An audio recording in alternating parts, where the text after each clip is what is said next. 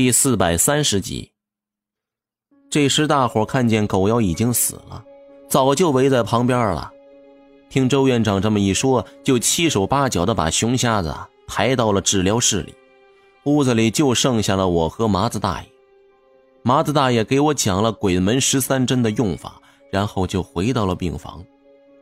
到了病房里，刚坐了一会儿，刘家从外面跑了进来，抱着衣服和鞋子对我说：“小东。”你赶紧洗一下澡，穿上衣服试试合适吧。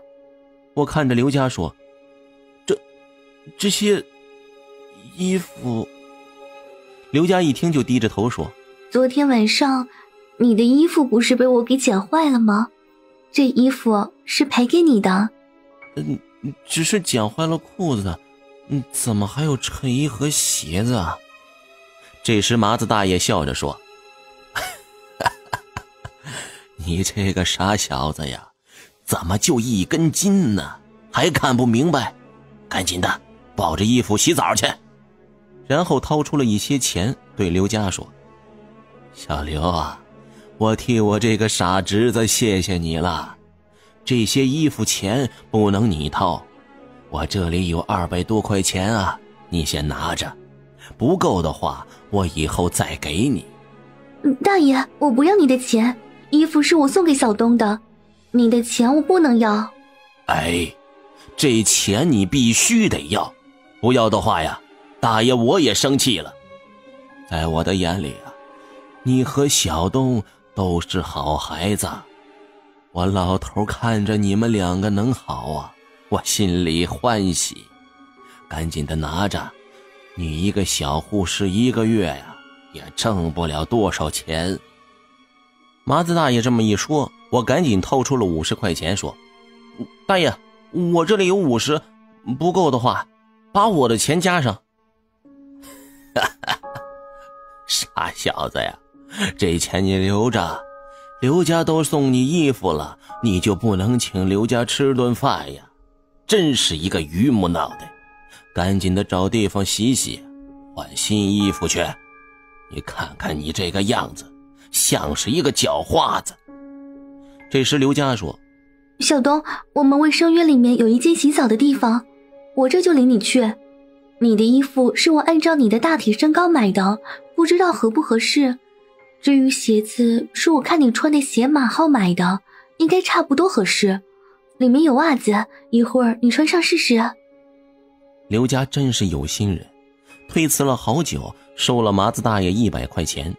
然后在刘家的带领下来到了洗澡的地方，我进到了里面，关好门，把身上的脏衣服和鞋子全脱了。我这身衣服经过一夜都已经馊了，再加上上面还有那些脏兮兮的粘液，已经不能再穿了。我把衣服扔进了垃圾桶，至于鞋子还好好的呢，这个我舍不得扔，直接泡在水里，准备洗干净拿回家去。我在里面把周身洗了个干干净净，等身上干了，换上刘家给我买的衣服。刘家的眼力很好，他挑选的衣服非常合身。裤子是月白色的休闲裤，当年最流行的颜色呀。衬衫是半袖的白衬衫，再加上白色的旅游鞋，这一穿上，到了镜子前照了照，美的只想冒泡。怪不得人们常说。人靠衣裳，马靠鞍，一靠打扮，二靠穿，浑身焕然一新，感觉自己一下子精神了很多。弄好了之后啊，把那双鞋子洗干净，两个鞋带一系，提着鞋子出去了。我这时心情说不出的好，在心里有一种从来没有过的幸福感。本以为认识了刘家就是生命里的春天了。可让我没有想到的是，我生命中的寒冬马上就要来了。为了这件事儿，我不得不远走他乡，错过了这场美好的缘分，留下了一个永远的遗憾。我出去之后，把鞋子放下，麻子大爷要给我些钱，我没有要，对麻子大爷说呀。这顿饭必须用我自己的钱请。这时刘佳来了，问我衣服合不合身，我赶紧说合身的很。刘佳让我转两圈给他看看，于是我很愉快的转了一圈。看完衣服之后啊，对我说：“行，还不错，这衣服挺适合你的。”我们正说着话呢，麻子大爷说：“小东啊，你不是饿了吗？刘佳也饿了，在门口不远有个饭店，那里的羊肉汤不错，你们去喝羊肉汤吧。”一边吃着饭一边说话。麻子大爷到底是老谋深算了。他这么一说，把我们去哪儿吃，还有吃什么都给定性了。因为我身上只有五十块钱，虽然钞票没有贬值，但是吃大菜硬菜钱还是不太够的。也只有喝羊肉汤是绰绰有。那年头的羊肉没有现在这么贵，一斤的羊肉再加上几个油盐大烧饼，再加上两碗汤，顶多也就是三四十块钱，足够我们吃的了。喝羊肉汤还有一个好处，那就是汤静着喝。其实我是真的饿了，从昨天晚上到现在，肚子里的那点食都已经吐干净了。要不是信念和那种幸福感撑着，我早就趴下了。这时一说到美食，我的嗓子眼儿就像伸出了一只小手，抓得我心里直痒痒。一想到羊肉汤特有的膻味儿，我就有点想发疯了，肚子里咕咕的叫。刘佳听到我肚子叫了，就赶紧说：“大爷，小东，咱们去喝羊肉汤吧，我挺喜欢喝羊肉汤的。今天我请客。”麻子大爷笑着说：“我不去，在家里啊刚吃过，你们俩去吧，吃的饱饱的呀，说话也方便。”我也想叫麻子大爷一块去。麻子大爷笑着说：“哎，傻小子，赶紧去吧，我老头子不和你们年轻人掺和。”麻子大爷这是在给我创造机会呢。饭店离卫生院不远，村镇的饭店那时候不讲究牌子，在门口支一口熬汤的大锅和一座烧饼炉子，门口啊弄块木牌，写上全羊汤。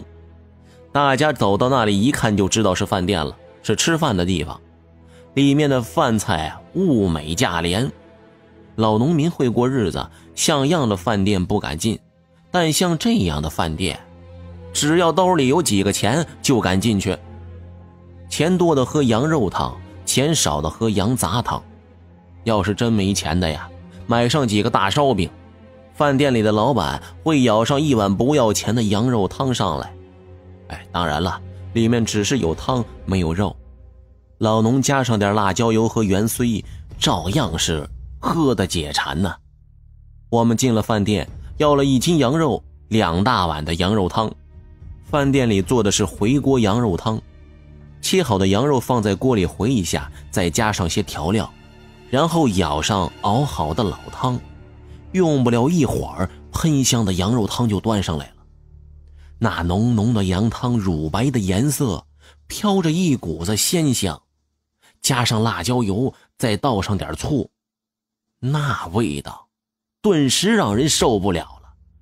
由于是太饿了，我把大烧饼泡在羊肉汤里，连吃带喝的，一连两大碗羊肉汤，我这才算是吃饱喝足了。等吃饱喝足了之后，和刘家说了会儿话，我们就回去了。回去之后，看到熊瞎子已经转到病房了，熊瞎子的情绪很稳定，应该是没有什么事儿的。这时刘家应该下班回家了，看着他回家，心中有些恋恋不舍的。麻子大爷看到这里啊，笑着对我说：“小东啊，是不是看上那个姑娘了？”我一听，脸唰的一下子红了，低着头不好意思说话：“大爷。”这，嗯，这，别吞吞吐吐的。要是看上了，你就点点头。大爷呀，我帮你想办法。我不好意思的点点头。麻子大爷领着我说：“走，我领着你去找老周去。”大爷，您领着我找周叔，是不是让周叔做媒呀？嘿。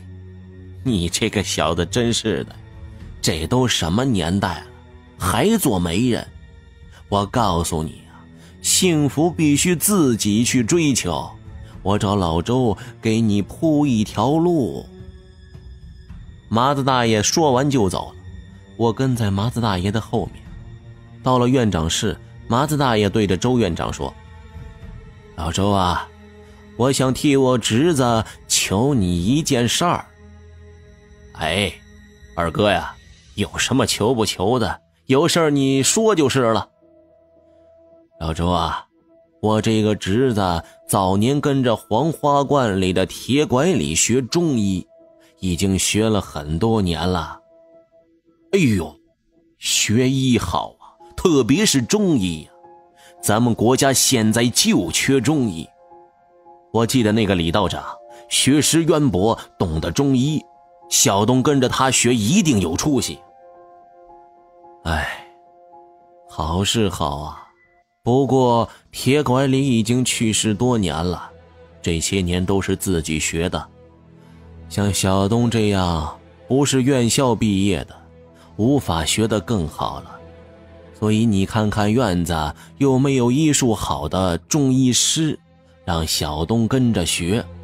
这样一来呀，小东等以后就有了饭碗了。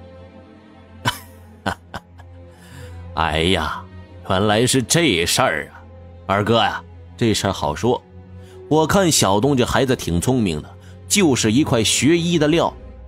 这样吧，我们等明天开个会研究一下，看看谁愿意带小东这个徒弟。